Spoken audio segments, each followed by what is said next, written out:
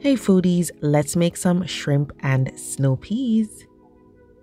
Alright guys, so this is just a simple marinade. It is soy sauce, some Chinese cooking wine, and some freshly ground black pepper. Just give that a whisk and then we're going to be adding some shrimp.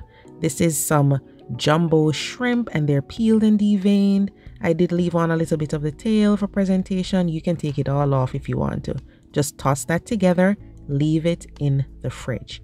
All right, no salt needed, guys. So we're gonna make a simple stir fry sauce, okay?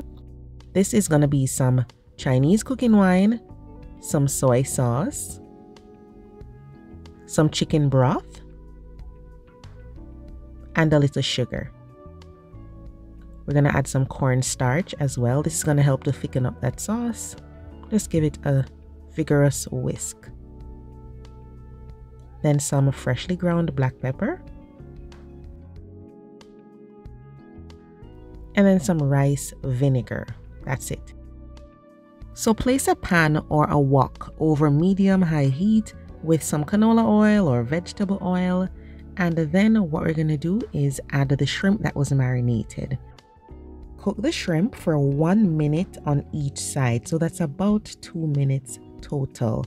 We don't need to overcook it.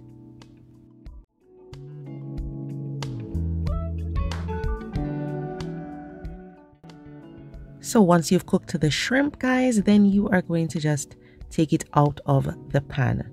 Okay, just set it aside. And then in the same pan, we're going to add some ginger and garlic. And just stir things around, all right? You'll see some brown bits. That's from the soy sauce caramelizing and all that. But just stir things around and then add the fresh snow peas. And then you're going to stir fry this for about a minute.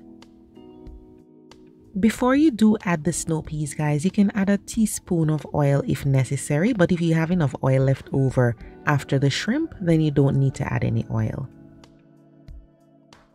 Alright, so after about a minute, we're going to be adding that sauce mixture that we made earlier. Just stir that in. This is going to continue to cook the snow peas. So that's why you don't want to cook it for too long initially because you want to maintain that beautiful green color.